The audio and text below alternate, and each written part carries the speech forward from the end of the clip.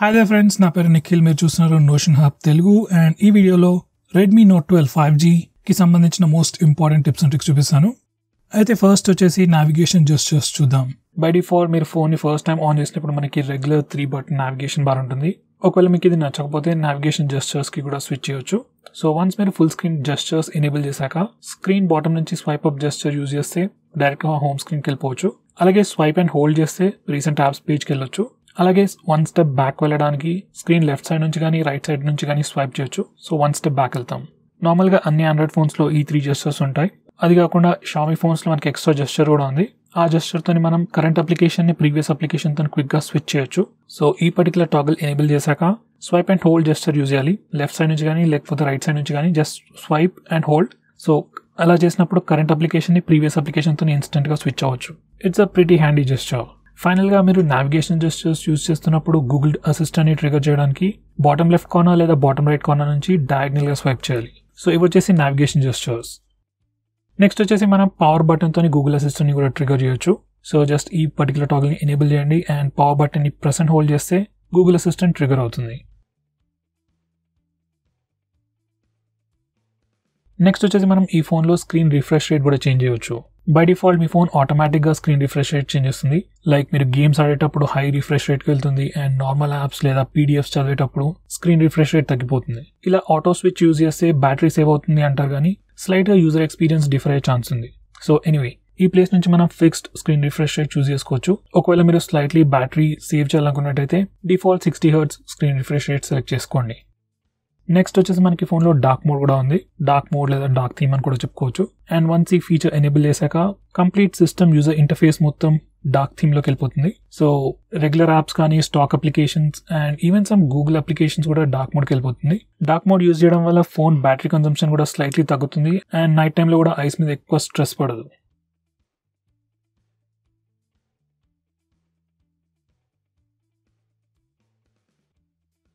Next వచ్చేసి మనకి ఈ ఫోన్లో పామ్ జెస్టర్ కూడా ఉంది. అండ్ వన్స్ ఈ ఫీచర్ ఎనేబుల్ చేశాక జస్ట్ ఫ్రంట్ కెమెరాకి లేదా రేర్ కెమెరాకి మన పామ్ చూపిస్తే మన ఫోన్ ఆటోమేటిక్గా త్రీ సెకండ్స్ తర్వాత పిక్చర్ తీసుకుంటుంది. సెల్ఫీస్ తీసుకోవడానికి ఈ పర్టికులర్ ఫీచర్ చాలా యూజ్ అవుతుంది.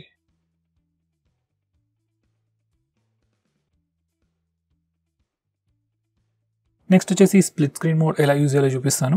స్ప్లిట్ స్క్రీన్ మోడ్లో మనం two applications at the same time use చేయొచ్చు. లైక్ టాప్ అండ్ బాటమ్ విండోస్లో టూ డిఫరెంట్ అప్లికేషన్స్ రన్ చేయొచ్చు. So split screen mode open చేయడానికి ఫస్ట్ రీసెంట్ యాప్స్కి వెళ్ళి ఏదైతే యాప్ని మనం స్ప్లిట్ స్క్రీన్ మోడ్లో ఓపెన్ చేయాలనుకుంటున్నామో దానిపైన ట్యాప్ అండ్ హోల్డ్ చేస్తే మనకి ఎక్స్ట్రా ఆప్షన్స్ వస్తాయి. అక్కడ స్ప్లిట్ స్క్రీన్ ఆప్షన్ సెలెక్ట్ చేసుకోవాలి. అప్పుడు ఆ పర్టికులర్ అప్లికేషన్ టాప్ విండోలో ఓపెన్ అవుతుంది అండ్ సెకండరీ అప్లికేషన్ మనం రీసెంట్ యాప్స్ నుంచి అయినా సెలెక్ట్ చేసుకోవచ్చు. లేదా హోమ్ స్క్రీన్కి వెళ్ళి అక్కడ నుంచి కూడా డిఫరెంట్ అప్లికేషన్ సెలెక్ట్ చేసుకోవచ్చు. ఈ స్ప్లిట్ స్క్రీన్ మోడ్ ఫీచర్ అనేది most of the application support చేస్తాయి. కానీ కొన్ని పాత అప్లికేషన్ సపోర్ట్ చేయకపోవచ్చు. సో ఆ ప్రాబ్లమ్ని ఫిక్స్ చేయడానికి ఫస్ట్ సెటింగ్స్కి వెళ్ళి అబౌట్ ఫోన్కి వెళ్ళండి. తర్వాత మీఓఐ వర్జన్ పైన సెవెన్ టైప్స్ ట్యాప్ చేయండి. ఇలా చేస్తే డెవలపర్ ఆప్షన్స్ ఎనేబుల్ అవుతుంది. నెక్స్ట్ డెవలపర్ ఆప్షన్స్కి వెళ్ళి కంప్లీట్ బాటంలో మనకి force activities to be resizable అనే ఆప్షన్ ఉంటుంది. జస్ట్ అది టాగల్ని ఎనేబుల్ చేసి ఫోన్ని రీస్టార్ట్ చేస్తే ఆల్మోస్ట్ అన్ని అప్లికేషన్స్ మనం స్ప్లిట్ స్క్రీన్ మోడ్లో యూజ్ చేసుకోవచ్చు. నెక్స్ట్ వచ్చేసి మనం డిస్ప్లే స్క్రీన్ ఆన్ టైం లేదా స్లీప్ టైం చేంజ్ చేయాలనుకుంటే ఈ పర్టికులర్ ప్లేస్కి వచ్చి మనం చేంజ్ చేసుకోవచ్చు.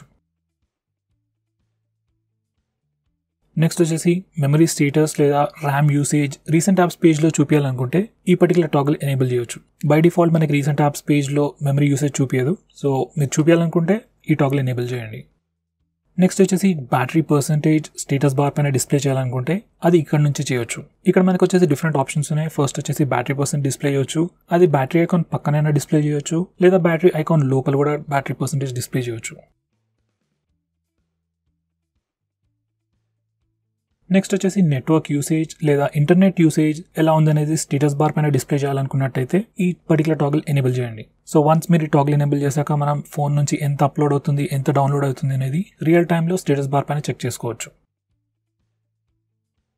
నెక్స్ట్ వచ్చేసి డిఫాల్ట్ యాప్స్ ఎలా చేంజ్ చేయాలో చూపిస్తాను. సో ఈ ఫోన్లో మనం default email app default gallery app default camera application default video player అలా మనం డిఫాల్ట్ అప్లికేషన్ సెట్ చేయొచ్చు. లైక్ ఎవ్రీ టైం మీరు వీడియో ఓపెన్ చేసినప్పుడు లేదా ఫోటో ఓపెన్ చేసినప్పుడు మీ ఫోన్ ఊరికే ఏ అప్లికేషన్తో ఈ పర్టికులర్ ఫైల్ని ఓపెన్ చేయాలని అడగదు. సో అలా డిఫాల్ట్ అప్లికేషన్స్ని సెట్ చేయాలనుకున్నట్టయితే మనం ఈ ప్లేస్ నుంచి చేయొచ్చు. ఈ ప్లేస్ నుంచి మనం default browser default launcher default messaging app అన్నీ చేంజ్ చేసుకోవచ్చు.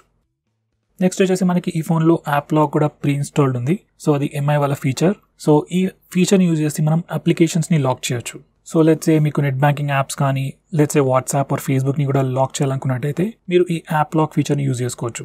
అండ్ ఒకవేళ మీరు కావాలనుకున్నట్టయితే ఈ లాక్డ్ అప్లికేషన్స్ని ఫింగర్ ప్రింట్ స్కానర్తోని లేదా ఫేస్ అన్లాక్తోని కూడా అన్లాక్ చేయొచ్చు. సో బేసికలీ ఈ పర్టికులర్ ఫీచర్ బేసికలీ ప్రైవసీ కోసం నార్మల్గా మీరు ఫోన్ అన్లాక్ చేసే ఇచ్చినప్పుడు వాళ్ళు యాక్సిడెంటల్గా కానీ ఇంటెన్షనల్గా కానీ మీ ప్రైవసీ రిలేటెడ్ యాప్స్ని ఓపెన్ చేయకుండా ఉండడానికి ఉంటుంది. నెక్స్ట్ వచ్చేసి ఈ ఫోన్లో స్క్రీన్ షాట్స్ ఎలా తీసుకోలో చూపిస్తాను. త్రీ డిఫరెంట్ వేస్ ఉన్నాయి. ఫస్ట్ వచ్చేసి బటన్స్ తోని. సో వాల్యూమ్ డౌన్ ఇంకా power button press and hold చేస్తే మీ ఫోన్ ఆటోమేటిక్గా స్క్రీన్ షాట్ తీసుకుంటుంది. నెక్స్ట్ వచ్చేసి మనకి three finger screen shot gesture కూడా ఉంది. సో ఈ పర్టికులర్ ఫీచర్ ఎనేబుల్ చేశాక జస్ట్ మనం త్రీ ఫింగర్స్తోని స్క్రీన్ పైన స్వైప్ డౌన్ జెస్టర్ యూజ్ చేస్తే మన ఫోన్ ఆటోమేటిక్గా స్క్రీన్ షాట్ తీసుకుంటుంది. ఫైనలీ మనకి స్క్రీన్ షాట్ తీసుకోవడానికి ఒక క్విక్ టాగుల్ కూడా ఉంది నోటిఫికేషన్ ఏరియాలో సో జస్ట్ అది క్లిక్ చేస్తే స్క్రీన్ షాట్ తీసుకోవచ్చు. నెక్స్ట్ ఈ ఫోన్లో లాంగ్ స్క్రీన్ షాట్ ఎలా తీసుకోవాలో చూపిస్తాను. దానికోసం ఫస్ట్ మనం రెగ్యులర్ స్క్రీన్ షాట్ తీసుకోవాలి. మనం ఎదర్ బటన్స్ యూజ్ చేయొచ్చు లేదా త్రీ ఫింగర్ స్క్రీన్ జస్చర్ కూడా యూజ్ చేయొచ్చు. సో స్క్రీన్ షాట్ తీసుకున్నాక మనకి ఒక ప్రివ్యూ వస్తుంది. అండ్ ఆ ప్రివ్యూ వచ్చినప్పుడు మనం స్క్రోల్ బటన్ని క్లిక్ చేస్తే మన ఫోన్ స్క్రీన్ ఆటోమేటికల్గా స్క్రోల్ అయ్యి లాంగ్ స్క్రీన్ షాట్ తీసుకుంటుంది. ఒకవేళ మీరు స్క్రోల్ అయినంత వరకు సరిపోతుంది అనుకుంటే జస్ట్ స్క్రీన్ని సింగిల్ టైం ట్యాప్ చేస్తే స్క్రోల్ అయిపోతుంది. అండ్ మనకి లాంగ్ స్క్రీన్ షాట్ వస్తుంది. సో ఫ్రెండ్స్ ఇవి వచ్చేసి ఈ ఫోన్కి సంబంధించిన most important tips and tricks ఒకవేళ నేను ఏదైనా మిస్ అయినట్టయితే కమెంట్ చేసి తెలియజేయండి. So friends that's it for this video thanks for watching